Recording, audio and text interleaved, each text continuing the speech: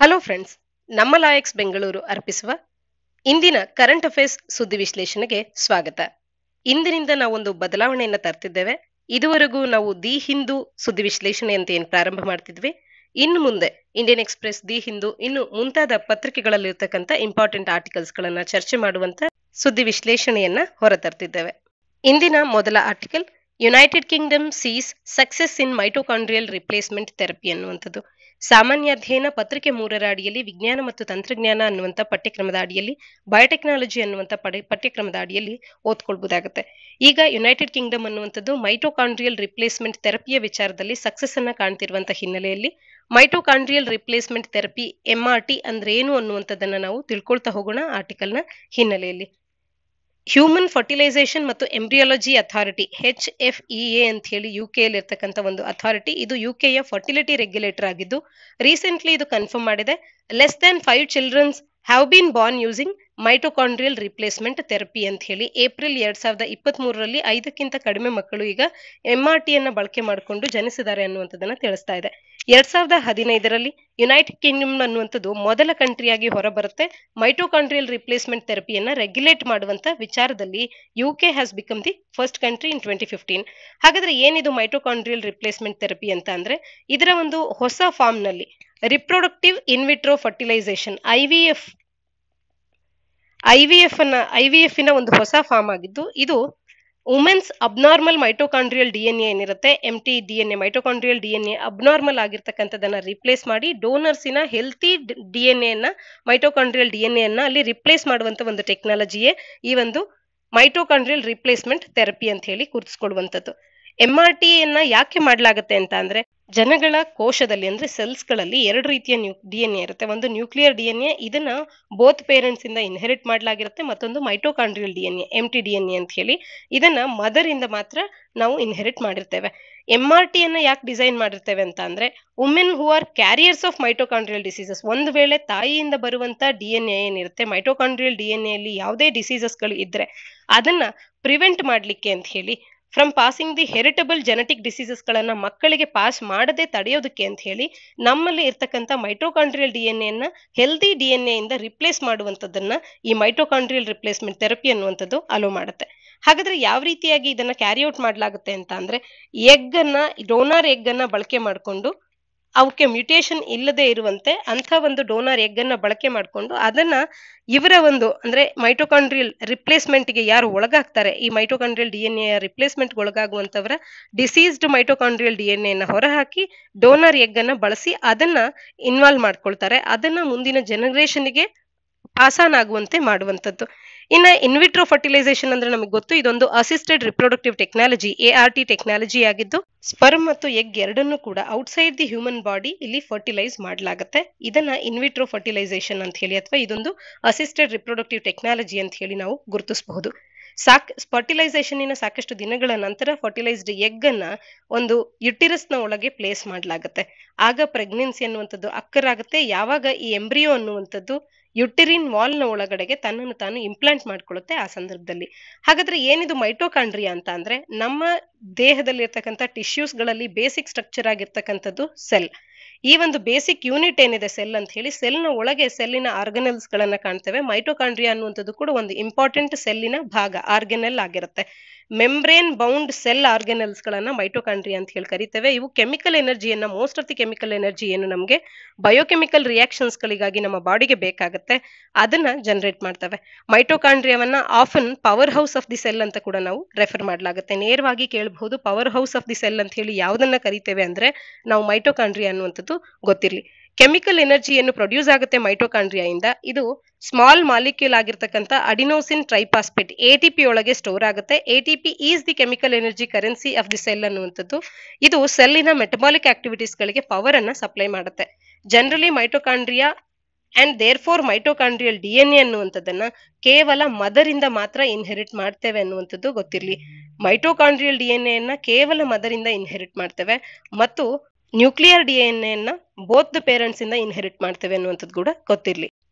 ಮುಂದಿನ article study on butterflies migration opens door for conservation ಸಾಮಾನ್ಯ ಅಧ್ಯಯನ ಪತ್ರಿಕೆ ಮೂರರ ಅಡಿಯಲ್ಲಿ ಬಯೋಡೈವರ್ಸಿಟಿ ಅಡಿಯಲ್ಲಿ, ಹಾಗೆ ಕನ್ಸರ್ವೇಷನ್ ಅಡಿಯಲ್ಲಿ ಮತ್ತು ಪ್ರಿಲಿಮ್ಸ್ಗೆ ಕೂಡ ಪೂರಕವಾಗುವಂತ ಒಂದು ಆರ್ಟಿಕಲ್ ಆಗಿ ಓದ್ಕೊಳ್ಬಹುದಾಗುತ್ತೆ ಮಿಲ್ಕ್ ವೀಡ್ ಬಟರ್ಫ್ಲೈಸ್ಗಳ ಮೈಗ್ರೇಷನ್ ಪ್ಯಾಟರ್ನ್ ಅನ್ನ ಅಧ್ಯಯನ ಮಾಡ್ತಾ ಇದ್ದಾರೆ ರಿಸರ್ಚರ್ಸ್ಗಳು ಇದರಿಂದಾಗಿ ಅವುಗಳ ಸಂರಕ್ಷಣೆಗೆ ನೆರವಾಗುತ್ತೆ ಅನ್ನುವಂಥದ್ದು ಆರ್ಟಿಕಲ್ನ ಮುಖ್ಯ ವಿಚಾರ ಆಗುತ್ತೆ. ಇಲ್ಲಿ ಹಾಗಾದ್ರೆ ಆರ್ಟಿಕಲ್ನ ಹಿನ್ನೆಲೆಯಲ್ಲಿ ಮಿಲ್ಕ್ ವೀಡ್ ಬಟರ್ಫ್ಲೈಸ್ ಅಂದ್ರೆ ಏನು ಅನ್ನುವಂಥದ್ದನ್ನ ತಿಳ್ಕೊಳ್ಳೋಣ. ಇವು ಒಂದು ಗ್ರೂಪ್ ಆಫ್ ಬಟರ್ಫ್ಲೈಸ್ ಆಗಿದ್ದು ಬ್ರಷ್ ಫೂಟೆಡ್ ಬಟರ್ಫ್ಲೈ ಫ್ಯಾಮಿಲಿಗೆ ಇವು ಬಿಲಾಂಗಿಂಗ್ ಆಗಿರ್ತಕ್ಕಂಥದ್ದು. ನಿಂಫಲಿಡೆ ಅನ್ನುವಂತ ಬಟರ್ಫ್ಲೈ ಫ್ಯಾಮಿಲಿಗೆ ಬಿಲಾಂಗಿಂಗ್ ಆಗಿರುತ್ತೆ ಅಂತ ಹೇಳಿ ಗೊತ್ತಿರ್ಲಿ. ಇಲ್ಲಿ ಮುನ್ನೂರು ಸ್ಪೀಸೀಸ್ ನಷ್ಟು ಬಟರ್ಫ್ಲೈಸ್ ಇದೆ ಈ ಒಂದು ಗ್ರೂಪ್ ಅಲ್ಲಿ. ಇದರಲ್ಲಿ ಐಕಾನಿಕ್ ಮೊನಾರ್ಚ್ ಬಟರ್ಫ್ಲೈ ಕೂಡ ಇರ್ತಕ್ಕಂಥದ್ದು. ಇನ್ನ ಇವುಗಳು ಎಲ್ಲಿ ಹೆಚ್ಚು ಕಾಣ ಸಿಗುತ್ತೆ ಅಂತ ಅಂದ್ರೆ ಓಲ್ಡ್ ಅಂಡ್ ನ್ಯೂ ವರ್ಲ್ಡ್ ಟ್ರಾಪಿಕ್ಸ್ಗಳಲ್ಲಿ ಇವುಗಳನ್ನ ಹೆಚ್ಚಿನದಾಗಿ ಕಾಣಬಹುದು ಓಲ್ಡ್ ವರ್ಲ್ಡ್ ಅಂತ ಅಂದ್ರೆ Europe Africa Asia new world ಅಂತ ಅಂದ್ರೆ North America South America Caribbean ಎಲ್ಲ ಕಡೆಯಲ್ಲಿ ಕೂಡ ಇದು ಕಾಣಸಿಗುತ್ತೆ some well known members of this group ಉದಾಹರಣೆಗೆ ಮೊನಾರ್ಚ್ ಬಟರ್ಫ್ಲೈ ಅಂತವು ಕ್ವೀನ್ ಬಟರ್ಫ್ಲೈ ಅಂತವು, ಅವು ಟೆಂಪರೇಟ್ ರೀಜನ್ಸ್ಗಳಲ್ಲಿ ಕಾಣಸಿಗುವಂತದ್ದು. ಇವುಗಳ ಮುಖ್ಯ ಫೀಚರ್ಸ್ ಗಳನ್ನ ನೋಡೋದಾದ್ರೆ ಅವು ದೊಡ್ಡ ಆಕಾರದಲ್ಲಿ ಲಾರ್ಜ್ ಇರುತ್ತೆ ಮತ್ತು ಕಲರ್ಫುಲ್ ಆಗಿರುತ್ತೆ. ಲಾಂಗ್ ಯೂಶಲಿ ಬ್ರೌನಿಶ್ ಅಥವಾ ಆರೆಂಜ್ ವಿಂಗ್ಸ್ ಅನ್ನ ಹೊಂದಿರುತ್ತೆ. ಬ್ಲಾಕ್ ಅಂಡ್ ವೈಟ್ ಪ್ಯಾಟರ್ನ್ಸ್ ಗಳನ್ನ ಹೊಂದಿರುತ್ತೆ. ಈ ಚಿತ್ರಗಳಲ್ಲಿ ನಾವು ಕಾಣಬಹುದಾಗಿರುತ್ತೆ. ಅವು ಸ್ಲೋ ಆಗಿ ಫ್ಲೈ ಮಾಡುವಂತದ್ದು ಮತ್ತು ಮೊನಾರ್ಚ್ ಬಟರ್ಫ್ಲೈ ಅಂತವು ಗ್ರೇಟರ್ ಡಿಸ್ಟೆನ್ಸ್ಗೆ ಮೈಗ್ರೇಟ್ ಕೂಡ ಮಾಡಬಲ್ಲದು. ಮತ್ತು they feed greatly on milk feed milkweed ಅನ್ನುವಂಥದ್ದು ಗೊತ್ತಿರಲಿ. ಈ ಪ್ಲಾಂಟ್ಸ್ಗಳು ಆಕ್ರಿಕ್ ಮಿಲ್ಕಿ ಜ್ಯೂಸಸ್ ಗಳನ್ನ probably they make the larva and ಅದರ ಸಬ್ಸಿಕ್ವೆಂಟ್ ಸ್ಟೇಜಸ್ಗಳಲ್ಲಿ ಪ್ರಿಡೇಟರ್ಸ್ಗಳಿಗೆ ಪ್ರಿಡೇಟರ್ಸ್ ಗಳಿಗೆ ಡಿಸ್ಟೇಸ್ಟ್ಫುಲ್ ಆಗಿ ಕೂಡ ಇರ್ತವೆ. ಇದು ಕಾನ್ಸ್ಪೀಷಿಯಸ್ ಕಲರೇಷನ್ ಆಗಿ ಕಂಬೈನ್ ಆಗೋದ್ರಿಂದ ಅವುಗಳನ್ನು ನಾವು ಪ್ರೊಟೆಕ್ಟ್ ಕೂಡ ಮಾಡೋದಕ್ಕೆ ಸಾಧ್ಯ ಆಗುತ್ತೆ. ಹಾಗಾದ್ರೆ ಏನಿದು ಬ್ರಷ್ ಫೂಟೆಡ್ ಬಟರ್ಫ್ಲೈ ಫ್ಯಾಮಿಲಿ ಅಂತ ಹೇಳಿ ನೋಡೋದಾದ್ರೆ ಬ್ರಷ್ ಫೂಟೆಡ್ ಬಟರ್ಫ್ಲೈ ಅಥವಾ ಫ್ಯಾಮಿಲಿ ನಿಂಫಲಿಡೆ ಅನ್ನುವಂಥದ್ದನ್ನ ಫೋರ್ ಫೂಟೆಡ್ ಬಟರ್ಫ್ಲೈ ಅಂತ ಕೂಡ ಕರಿತೇವೆ. Is any of a group of butterflies ಆಗಿದ್ದು that are named for their characteristically reduced four legs four legs ಇರೋದ್ರಿಂದಾಗಿ ಅವುಗಳನ್ನ ಆ ರೀತಿ ಕರೆಯುವಂಥದ್ದು.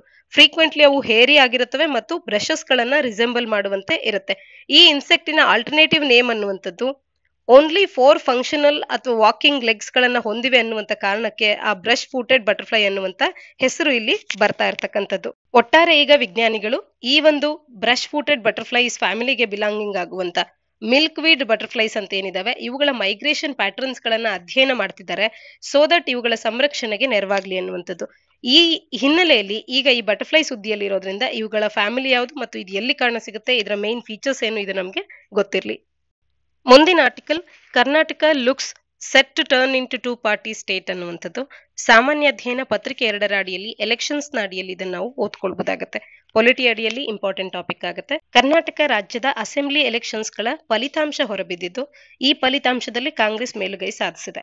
ಹಾಗೆ ಪ್ರತಿ ಬಾರಿ ಜೆಡಿಎಸ್ ಅನ್ನುವಂಥದ್ದು ಒಂದಷ್ಟು ಮಟ್ಟಿಗೆ ಫಲಿತಾಂಶವನ್ನ ಹೆಚ್ಚಾಗಿ ತಗೊಳ್ತಾ ಇದ್ದಿದ್ದಂಥದ್ದು ಇತ್ತೀಚಿನ ವರ್ಷಗಳಲ್ಲಿ, ಇತ್ತೀಚಿನ ಕಳೆದ ಒಂದಷ್ಟು ಎಲೆಕ್ಷನ್ಸ್ಗಳಲ್ಲಿ ಅದು ಅದರ ಪರ್ಸೆಂಟೇಜ್ ಆಫ್ ವೋಟರ್ ಶೇರ್ ಅನ್ನುವಂಥದ್ದು ಕುಸಿತವಾಗ್ತಾ ಬರ್ತಾ ಇದೆ. ಇದನ್ನ ಕಂಡಾಗ ಏನ್ ಆರ್ಟಿಕಲ್ ಗಮನ ಹರಿಸ್ತಿದೆ ಅಂತ ಅಂದ್ರೆ ಟೂ ಪಾರ್ಟಿ ಸ್ಟೇಟ್ ಆಗಿ ಹೊರಹೊಮ್ತಾ ಇದೆ. ಕೇವಲ ಎರಡೇ ಪಾರ್ಟಿಗಳ ಪ್ರಾಬಲ್ಯ ಅನ್ನುವಂಥದ್ದು ಈ ರಾಜ್ಯದಲ್ಲಿ ಬರ್ತಾ ಇದೆ ಅನ್ನುವಂಥದ್ದನ್ನ ಆರ್ಟಿಕಲ್ ಗಮನಿಸ್ತಾ ಇದೆ. ಆದ್ರೆ ಮುಖ್ಯವಾಗಿ ಇಲ್ಲಿ ನಾವು ತಿಳಿಬೇಕಾಗಿರ್ತಕ್ಕಂಥ ಒಂದು ಜನರಲಿಸ್ಟಿಕ್ ವ್ಯೂ ಅಂತ ಅಂದ್ರೆ ರೈಟಿಸ್ಟ್ ಐಡಿಯಾಲಜೀಸ್ ಗಳನ್ನ ಹೊಂದಿರತಕ್ಕಂತ ಪಕ್ಷಗಳನ್ನ ಜನರು ಅಷ್ಟಾಗಿ ಇಲ್ಲಿ ಸೌತ್ನಲ್ಲಿ ಮುಖ್ಯವಾಗಿ ಕರ್ನಾಟಕದಲ್ಲಿ ಸ್ವಾಗತ ಮಾಡ್ತಾ ಇಲ್ಲ ಅನ್ನುವಂಥದ್ದನ್ನ ಈ ರಿಸಲ್ಟ್ ನಮಗೆ ತೋರಿಸ್ತಾ ಇದೆ. ಇದನ್ನ ಆ ಬದಿಗಿಟ್ಟು ನಾವು ಆರ್ಟಿಕಲ್ನ ಹಿನ್ನೆಲೆಯಲ್ಲಿ ನೋಟಾ ದ ಬಗ್ಗೆ ತಿಳ್ಕೊಳ್ತಾ ಹೋಗೋಣ. ನನ್ ಆಫ್ ದಿ ಎಬೋ ಅನ್ನುವಂತ ಒಂದು ಆಪ್ಷನ್ ಅನ್ನ ನಾವು ಚುನಾವಣೆಯ ಒಂದು ಬ್ಯಾಲೆಟ್ ಯೂನಿಟ್ನಲ್ಲಿ ಕಾಣಬಹುದಾಗಿತ್ತು, ಕಡೆಯ ಆಪ್ಷನ್ ಆಗಿ. ಹಾಗಾದ್ರೆ ಏನಿದು ನೋಟಾ ಅಂತ ಹೇಳಿ ನೋಟಾದ ಬಗ್ಗೆ ಒಂದ್ ಸ್ವಲ್ಪ ಚರ್ಚೆ ಮಾಡೋಣ. ಎಲೆಕ್ಷನ್ ಕಮಿಷನಿನ ಫಿಗರ್ಸ್ನ ಪ್ರಕಾರ ಈ ಬಾರಿಯ ಕರ್ನಾಟಕದ ಅಸೆಂಬ್ಲಿ ಎಲೆಕ್ಷನ್ಸ್ ಅಲ್ಲಿ ಎರಡು ಪಾಯಿಂಟ್ ಆರು ಲಕ್ಷ ವೋಟರ್ಸ್ಗಳು ನೋಟಾ, ನೋಟಾಗೆ ವೋಟ್ ಅನ್ನ ಮಾಡಿರ್ತಕ್ಕಂಥದ್ದು. ಇದರ ಹಿನ್ನೆಲೆಯಲ್ಲಿ ನೋಟಾದ ಬಗ್ಗೆ ಚರ್ಚೆ ಮಾಡ್ತಾ ಹೋಗೋಣ.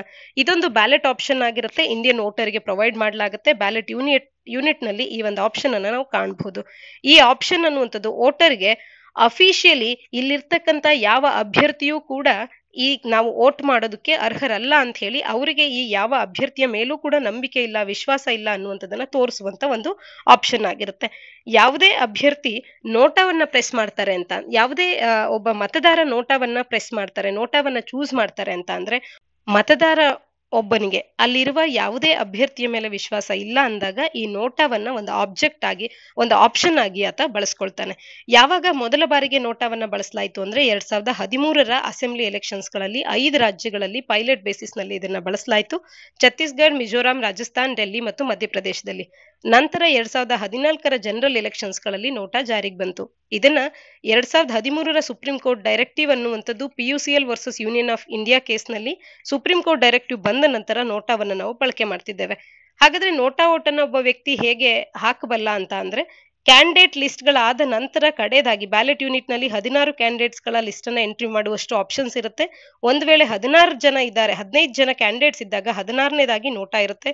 ಹತ್ತೇ ಕ್ಯಾಂಡಿಡೇಟ್ಸ್ ಇದ್ದಾರೆ ಅಂದ್ರೆ ಹನ್ನೊಂದನೇದಾಗಿ ಕಡೆ ಆಪ್ಷನ್ ಆಗಿ ನೋಟಾ ಅನ್ನುವಂಥದ್ದು ಇರುತ್ತೆ.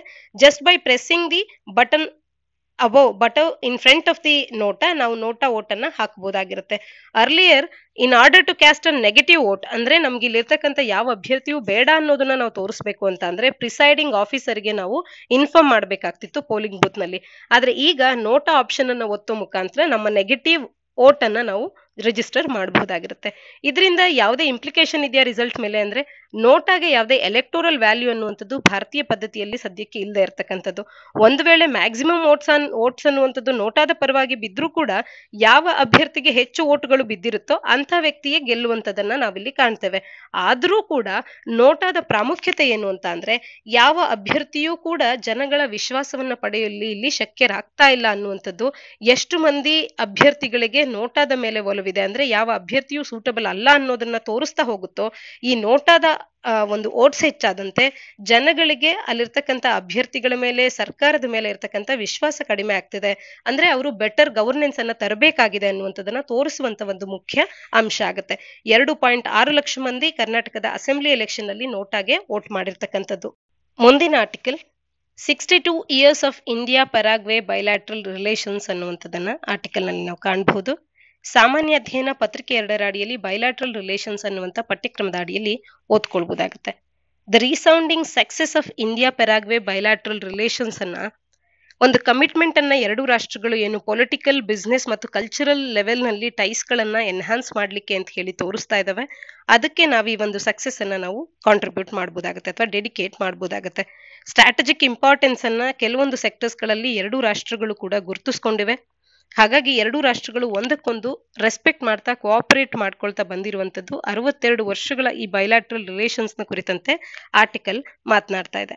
ಇದರ ಹಿನ್ನೆಲೆಯಲ್ಲಿ ಭಾರತ ಮತ್ತು ಪೆರಾಗ್ವೇದ ನಡುವೆ ಇರತಕ್ಕಂತ ಒಂದಷ್ಟು ಬೈಲಾಟ್ರಲ್ ಇಂಟ್ರಾಕ್ಷನ್ಸ್ ಮತ್ತು ಪೊಲಿಟಿಕಲ್ ರಿಲೇಷನ್ಸ್ನ ಕುರಿತಂತೆ ಮಾತನಾಡೋಣ. ಪೊಲಿಟಿಕಲ್ ರಿಲೇಷನ್ಸ್ ಅಂತ ಬಂದಾಗ ಸಾವಿರದ ಒಂಬೈನೂರ ಅರವತ್ತ ಒಂದರಲ್ಲಿ ಡಿಪ್ಲೊಮ್ಯಾಟಿಕ್ ರಿಲೇಷನ್ಸ್ ಅನ್ನುವಂಥದ್ದು ಪೆರಾಗ್ವೆಯ ಜೊತೆಗೆ ಪ್ರಾರಂಭ ಆಗುತ್ತೆ. ಪೆರಾಗ್ವೆ ರಾಷ್ಟ್ರವು ಬೊಲಿವಿಯಾ, ಬ್ರೆಜಿಲ್ ಮತ್ತು ಅರ್ಜೆಂಟೀನಾದೊಟ್ಟಿಗೆ ಬಾರ್ಡರ್ ಅನ್ನ ಹೊಂದಿದೆ ಅನ್ನುವಂಥದ್ದು ಗೊತ್ತಿರಲಿ.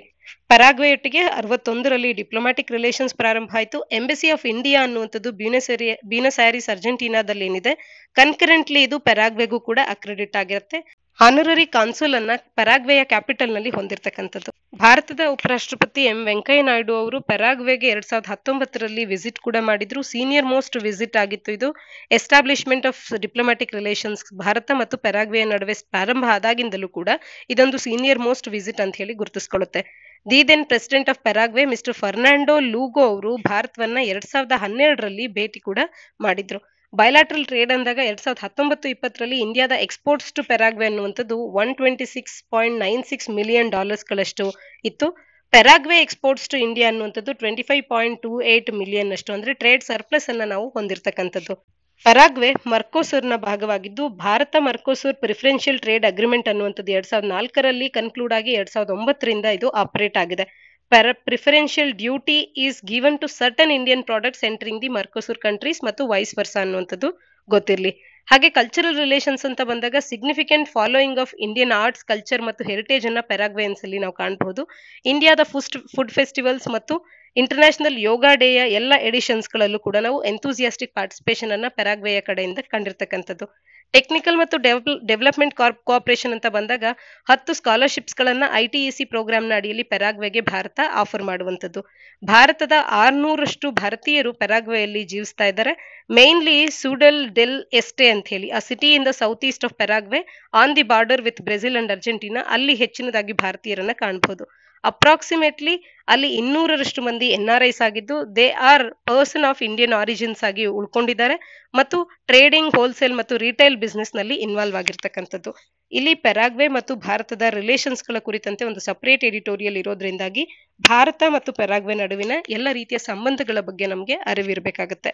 ಮುಂದಿನ article, second G twenty culture meet to focus on sustainability through crafts ಅನ್ನುವಂಥದ್ದು. ಸಾಮಾನ್ಯ ಅಧ್ಯಯನ ಪತ್ರಿಕೆ ಎರಡರ ಅಡಿಯಲ್ಲಿ ಗವರ್ನೆನ್ಸ್ನ ಅಡಿಯಲ್ಲಿ ಹೆಲ್ತ್ ಅಂಡ್ ಎಜುಕೇಶನ್ ಅನ್ನುವಂಥ ಪಠ್ಯಕ್ರಮದ ಅಡಿಯಲ್ಲಿ ಓದ್ಕೊಳ್ಬಹುದಾಗತ್ತೆ ಭಾರತ ಈ ಬಾರಿ ಈ ಜಿ ಟ್ವೆಂಟಿಯ ಅಧ್ಯಕ್ಷ ಸ್ಥಾನವನ್ನ ಹೊಂದಿದ್ದು ಗ್ಲೋಬಲ್ ಹೆಲ್ತ್ ಅನ್ನ ಸ್ಟ್ರೆಂಥನ್ ಮಾಡಲಿಕ್ಕೆ ಸೇಫರ್ ಅಂಡ್ ಈಕ್ವಿಟಬಲ್ ವರ್ಲ್ಡ್ ಅನ್ನ ಮತ್ತು ವರ್ಲ್ಡ್ ಅನ್ನ ಬೆಟರ್ ಅನ್ನಾಗಿ ಮಾಡಲಿಕ್ಕೆ ಅಂತ ಹೇಳಿ ಭಾರತ ಪ್ರಯತ್ನ ಮಾಡ್ತಾ ಇದೆ ತನ್ನ ಪ್ರೆಸಿಡೆನ್ಸಿಶಿಪ್ನ ಅಡಿಯಲ್ಲಿ. ಹಾಗೇನೆ ಸಸ್ಟೈನಬಿಲಿಟಿಯ ಮೇಲೆ ಕೂಡ ಫೋಕಸ್ ಅನ್ನ ಮಾಡ್ತಾ ಇದೆ ಅನ್ನುವಂಥದ್ದನ್ನ ಆರ್ಟಿಕಲ್ ನಮಗೆ ತಿಳಿಸ್ತಾ ಇದೆ. ಇಂಡಿಯಾದ ಜಿ ಟ್ವೆಂಟಿ ಪ್ರೆಸಿಡೆನ್ಸಿ ಅನ್ನುವಂಥದ್ದು ಒಂದು ಮೊಮೆಂಟಮ್ ಅನ್ನ ಪಡ್ಕೊಳ್ತಾ ಇದೆ. ಶೇರ್ಡ್ ರೆಸ್ಪಾನ್ಸಿಬಿಲಿಟೀಸ್ ಅನ್ನ ಕೊಲಾಬರೇಟಿವ್ ಗವರ್ನೆನ್ಸ್ ಅನ್ನ ಮತ್ತು ಗ್ಲೋಬಲ್ ಸೇಫ್ಟಿಯನ್ನ ಪ್ಯಾಂಡಮಿಕ್ಸ್ನಿಂದ ಎನ್ಹಾನ್ಸ್ ಮಾಡೋದ್ರ ಕಡೆ ಗಮನವನ್ನ ಹರಿಸ್ತಾ ಇದೆ. ಹಾಗೇನೆ ಗ್ಲೋಬಲ್ ನಾರ್ತ್ ಅಂಡ್ ಸೌತ್ನ ನಡುವೆ ಇರ್ತಕ್ಕಂಥ ಬ್ರಿಡ್ಜ್ ಅನ್ನ ಗ್ಯಾಪ್ ಅನ್ನ ಫಿಲ್ ಮಾಡೋದಕ್ಕೆ ಅಂತ ಹೇಳಿ ಇದು ಪ್ರಯತ್ನ ಮಾಡ್ತಾ ಇದೆ. Inclusive membership of G twenty ಮತ್ತು ಅದರ್ ಪ್ಲೂರಿಲ್ಯಾಟ್ರಲ್ ಅರೇಂಜ್ಮೆಂಟ್ಸ್ಗಳ ಇನ್ಕ್ಲೂಸಿವ್ ಮೆಂಬರ್ಶಿಪ್ಗಾಗಿ ಭಾರತ ಪ್ರಯತ್ನ ಮಾಡ್ತಾ ಇರತಕ್ಕಂಥದ್ದು. ಗ್ಲೋಬಲ್ ಕಮ್ಯುನಿಟಿಯನ್ನ ಈ ರೀತಿಯ ಕಾರ್ಯಗಳಲ್ಲಿ ಇನ್ವಾಲ್ವ್ ಮಾಡ್ಕೊಳ್ಳೋದಕ್ಕೆ ಭಾರತ ಪ್ರಯತ್ನ ಮಾಡ್ತಾ ಇದೆ. ಹೆಲ್ತ್ ಅನ್ನ ಒಂದು ಗ್ಲೋಬಲ್ ಪಬ್ಲಿಕ್ ಗುಡ್ ಆಗಿ ನೋಡುವಂತದ್ರ ಮಹತ್ವ ಏನು ಅಂತ ಹೇಳಿ ನೋಡೋದಾದ್ರೆ, ಒಂದು ರೀತಿಯ ಇಂಟರ್ ಕನೆಕ್ಟೆಡ್ನೆಸ್ ಅನ್ನುವಂಥದ್ದು ಬೆಳೆಯುತ್ತೆ. ಯಾವುದೇ ಫ್ಯೂಚರ್ ಪ್ಯಾಂಡಮಿಕ್ಸ್ ಗಳಿಗೆ ಕ್ವಿಕ್ ರೆಸ್ಪಾನ್ಸ್ ಅನ್ನ ನಾವು ಕಾಣಬಹುದಾಗುತ್ತೆ. ಜಿಯೋಗ್ರಫಿಕಲ್ ಬೌಂಡ್ರೀಸ್ ಗಳನ್ನ ಟ್ರಾನ್ಸೆಂಡ್ ಮಾಡಿ ನಾವು ಹೆಲ್ತ್ ಇಶ್ಯೂಸ್ ಗಳಿಗೆ ಸಾಲ್ ಸೊಲ್ಯೂಷನ್ಸ್ ಗಳನ್ನ ಹುಡುಕಬಹುದಾಗುತ್ತೆ ಇನ್ನ ಗ್ಲೋಬಲ್ ಸ್ಟೆಬಿಲಿಟಿ ಮತ್ತು ಸಸ್ಟೈನಬಿಲಿಟಿಯ ಮೇಲೆ ಬೆಟರ್ ಇಂಪ್ಯಾಕ್ಟ್ ಅನ್ನ ಇದು ಹೊಂದಿರುತ್ತೆ. ಹೆಲ್ತ್ ಕ್ರೈಸಿಸ್ ಉಂಟಾದಾಗ ಪ್ಯಾಂಡಮಿಕ್ಸ್ ನಂತ ಕ್ರೈಸಿಸ್ ಉಂಟಾದಾಗ ಸೋಷಿಯಲ್ ಎಕನಾಮಿಕ್ ಪೊಲಿಟಿಕಲ್ ಕಾನ್ಸಿಕ್ವೆನ್ಸಸ್ಗಳು ಸಿವಿಯರ್ ಆಗಿರುತ್ತೆ. ಇವು ಎಕನಾಮಿಕ್ಸ್ ಗಳನ್ನ ಡಿಸ್ಟರ್ಬ್ ಮಾಡಬಹುದು ಹೆಲ್ತ್ ಕೇರ್ ಸಿಸ್ಟಮ್ಸ್ ಗಳನ್ನ ಸ್ಟ್ರೈನ್ ಮಾಡಬಹುದು. ಆದ್ರೆ ಎಲ್ಲರೂ ಕೈ ಜೋಡಿಸಿದಾಗ, ಮುಂಚಿನಿಂದಲೇ ಪ್ರಿಪೇರ್ಡ್ ಆಗಿದ್ದಾಗ ಒಂದು ಸಸ್ಟೈನಬಿಲಿಟಿಯನ್ನ ಕಾಪಾಡಿಕೊಳ್ಳುವಂತ ಎನ್ವಿರಾನ್ಮೆಂಟ್ ಅನ್ನ ನಾವು ಕ್ರಿಯೇಟ್ ಮಾಡಿದಾಗ, ನಮ್ಮ ಹೆಲ್ತ್ ಇನ್ಫ್ರಾಸ್ಟ್ರಕ್ಚರ್ ಈಗಿನಿಂದನೇ ಬೆಟರ್ ಬೆಟರ್ ಇದ್ದಾಗ ಈ ರೀತಿಯ ಸಮಸ್ಯೆಗಳಿಗೆ ನಾವು ಕೈ ಜೋಡಿಸಿ ಸೊಲ್ಯೂಷನ್ಸ್ ಗಳನ್ನ ತರಬಹುದು ಆದಷ್ಟು ಸಮಸ್ಯೆಗಳಿಂದ ದೂರ ಇರಬಹುದು ಇನ್ನ ಹ್ಯುಮ್ಯಾನಿಟೇರಿಯನ್ ಇಂಪರೇಟಿವ್ ಅನ್ನ ಒಂದು ಮತ್ತೊಂದು ಅಂಶವಾಗಿ ಕಾಣಬಹುದು ಹೆಲ್ತ್ ಅನ್ನುವಂಥದ್ದು ಒಂದು ಫಂಡಮೆಂಟಲ್ ಆದಂತಹ ಮಾನವ ಹಕ್ಕಾಗಿದೆ ಎಲ್ಲರಿಗೂ ಕೂಡ. Everyone deserves the access to quality health care ಮತ್ತು ಹೆಲ್ದಿ ಲೈಫ್ ಅನ್ನ ಲೀಡ್ ಮಾಡುವಂತ ಅವಕಾಶ ಎಲ್ಲರಿಗೂ ಕೂಡ ಸಿಗಬೇಕು. ಟ್ರೀಟಿಂಗ್ ಹೆಲ್ತ್ ಅನ್ನ ಒಂದು ಗ್ಲೋಬಲ್ ಪಬ್ಲಿಕ್ ಗೂಡ್ ಆಗಿ ಟ್ರೀಟ್ ಮಾಡಬೇಕು ಅನ್ನುವಂಥದ್ದು ಈಕ್ವಿಟಬಲ್ ಆಕ್ಸೆಸ್ ಅನ್ನ ಹೆಲ್ತ್ ಕೇರ್ ಸರ್ವಿಸಸ್ ಗಳಿಗೆ ಎಲ್ಲರಿಗೂ ಕೂಡ ಎನ್ಶೂರ್ ಮಾಡಬೇಕು ಅನ್ನುವಂಥದ್ದು ಮುಖ್ಯವಾದ ಅಂಶ ಆಗಬೇಕು. ಹಾಗೇನೆ ಎಕನಾಮಿಕ್ ಪ್ರೊಡಕ್ಟಿವಿಟಿಯನ್ನ ಕೂಡ ಗಮನ ಹರಿಸಬೇಕಾಗತ್ತೆ. ಯಾಕೆಂತಂದ್ರೆ ಯಾವಾಗ ಎಕನಾಮಿಕಲಿ ನಾವು ಗ್ರೋತ್ ಆಗ್ತೇವೆ, ಆಗ ಕಂಟ್ರಿಯು ಕೂಡ ಡೆವಲಪ್ ಆಗುತ್ತೆ ಮತ್ತು ನಮ್ಮ ಲೈಫ್ ಸ್ಟೈಲ್ ಕೂಡ ಬೆಟರ್ ಆಗ್ತಾ ಹೋಗುತ್ತೆ. ಪ್ರಿವೆನ್ಷನ್ ಮತ್ತು ಪ್ರಿಪೇರ್ಡ್ನೆಸ್ ಅನ್ನುವಂಥದ್ದು ಬೆಟರ್ ಆಗಿರಬೇಕು, ಯಾವುದೇ ರೀತಿಯಾದಂತಹ ಮುಂಬರುವಂತ ಔಟ್ ಬ್ರೇಕ್ಸ್ ಗಳಿಗೆ. ಹಾಗೇನೆ ನಾಲೆಡ್ಜ್ ಶೇರಿಂಗ್ ಮತ್ತು ಕೊಲಾಬರೇಷನ್ ಕಡೆ ಕೂಡ ಗಮನ ಹರಿಸುವಂಥದ್ದು.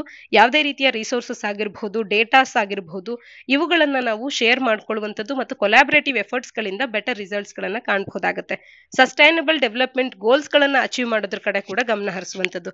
ಹೆಲ್ತ್ ಅನ್ನುವಂಥದ್ದು ಎಸ್ ಡಿ ಜಿಸ್ ಗಳನ್ನ ಅಚೀವ್ ಮಾಡೋದಕ್ಕೆ, ಮುಖ್ಯವಾಗಿ ಸಾಕಷ್ಟು ಎಸ್ ಡಿ ಜಿಸ್ ಗಳನ್ನ ಅಚೀವ್ ಮಾಡೋದಕ್ಕೆ ಇಂಟ್ರಿಕೇಟ್ಲಿ ಲಿಂಕ್ ಆಗಿದೆ. ಗುಡ್ ಹೆಲ್ತ್ ಅನ್ನುವಂಥದ್ದು good health and well being ಅಂತ ಹೇಳಿ ಅದನ್ನ ಎಸ್ ಡಿ ಜಿ ತ್ರೀ ಆಗಿ ಕಾಣ್ತೇವೆ. ಮತ್ತು gender equality S D G five ಆಗಿರಬಹುದು ಪಾವರ್ಟಿಯನ್ನು ಎರಾಡಿಕೇಟ್ ಮಾಡುವಂತ ಎಸ್ ಡಿ ಒನ್ ಆಗಿರಬಹುದು, ಇವೆಲ್ಲವನ್ನ ಅಚೀವ್ ಮಾಡೋದಕ್ಕೆ ಹೆಲ್ತ್ ಅನ್ನುವಂಥದ್ದು ನಮಗೆ ಬಹುಮುಖ್ಯ ಆಗುತ್ತೆ. ಒಟ್ಟಾರೆ ನಾಲೆಡ್ಜ್ ಶೇರಿಂಗ್ ಮತ್ತು ಬೆಸ್ಟ್ ಪ್ರಾಕ್ಟೀಸಸ್ನ ಮುಖಾಂತರ ಯೂನಿವರ್ಸಲ್ ಹೆಲ್ತ್ ಕವರೇಜಿನ ಅಡ್ವೊಕೇಸಿಯ ಮುಖಾಂತರವಾಗಿ ಗ್ಲೋಬಲ್ ಹೆಲ್ತ್ ಆರ್ಗನೈಸೇಷನ್ಸ್ ಗಳೊಟ್ಟಿಗೆ ಕೊಲಾಬರೇಟಿವ್ ಎಫರ್ಟ್ಸ್ ಗಳನ್ನ ಮಾಡ್ತಾ ಇನೋವೇಟಿವ್ ಫಿನಾನ್ಸಿಂಗ್ ಮೆಕಾನಿಸಮ್ಸ್ ಗಳನ್ನ ಪ್ರಮೋಟ್ ಮಾಡುವಂತದ್ದಾಗಿರಬಹುದು ಪ್ರೈಮರಿ ಹೆಲ್ತ್ ಕೇರ್ ಸಿಸ್ಟಮ್ಸ್ ಗಳನ್ನ ಸ್ಟ್ರೆಂಥನ್ ಮಾಡುವಂತದ್ದು ಡಿಜಿಟಲ್ ಹೆಲ್ತ್ ಟೆಕ್ನಾಲಜೀಸ್ ಗಳನ್ನ ಲೆವರೇಜ್ ಮಾಡೋ ಮುಖಾಂತರ ಸೌತ್ ಸೌತ್ ಕೋಆಪರೇಷನ್ ಅನ್ನ ಫೋಸ್ಟರ್ ಮಾಡೋ ಮುಖಾಂತರವಾಗಿ ಒಟ್ಟಾರೆ ಹೆಲ್ತ್ ಸೆಕ್ಟರ್ನಲ್ಲಿ ನಾವು ಬೆಟರ್ ಇನ್ಫ್ರಾಸ್ಟ್ರಕ್ಚರ್ ಮತ್ತು ಇಂಪ್ರೂವ್ಮೆಂಟ್ ಅನ್ನ ಕೋಆಪರೇಷನ್ ಅನ್ನ ಕಾಣಬಹುದು ಇದೇ ರೀತಿಯ ಒಂದು ಕೋಆಪರೇಷನ್ ಅನ್ನ ಈ ಎಲ್ಲ ಕ್ಷೇತ್ರಗಳಲ್ಲಿ ತರೋ ಮುಖಾಂತರ ಸಸ್ಟೈನಬಿಲಿಟಿಯನ್ನ ನಾವು ಅಚೀವ್ ಮಾಡೋದಕ್ಕೆ ಸಾಧ್ಯ ಆಗುತ್ತೆ ಜಿ ಟ್ವೆಂಟಿಯ ವಿಚಾರದಲ್ಲಿ. ಅಲ್ಲಿ, ಇಲ್ಲಿ ಜಿ ಟ್ವೆಂಟಿ ಕಲ್ಚರ್ ಮೀಟ್ನಲ್ಲಿ ಸೆಕೆಂಡ್ ಒಂದು ಸೆಕೆಂಡ್ ಮೀಟ್ ಅನ್ನುವಂಥದ್ದು ನಡೀತಾ ಇದೆ. ಸಸ್ಟೈನಬಿಲಿಟಿ ಥ್ರೂ ಕ್ರಾಫ್ಟ್ಸ್ನ ಕಡೆಗೆ ಇಲ್ಲಿ ಫೋಕಸ್ ಅನ್ನ ಮಾಡ್ಲಾಗ್ತಾ ಇದೆ. ಕ್ರಾಫ್ಟ್ಸ್ ಅನ್ನ ಬಳಕೆ ಮಾಡಿಕೊಂಡು ಸಸ್ಟೈನಬಿಲಿಟಿಯನ್ನ ಅಚೀವ್ ಮಾಡೋದ್ರ ಕಡೆಗೆ ಜಿ ಟ್ವೆಂಟಿಯ ಕಲ್ಚರ್ ಮೀಟ್ನ ಎರಡನೇ ಮೀಟ್ನಲ್ಲಿ ಗಮನ ಹರಿಸ್ತಾ ಇರ್ತಕ್ಕಂಥದ್ದು. ಇದಿಷ್ಟು ಇಂದಿನ ಸುದ್ದಿ ವಿಶ್ಲೇಷಣೆಯಾಗಿದೆ. ಮುಂದಿನ ಸುದ್ದಿ ವಿಶ್ಲೇಷಣೆಯೊಂದಿಗೆ ಮತ್ತೆ ಸಿಗೋಣ. ಧನ್ಯವಾದ.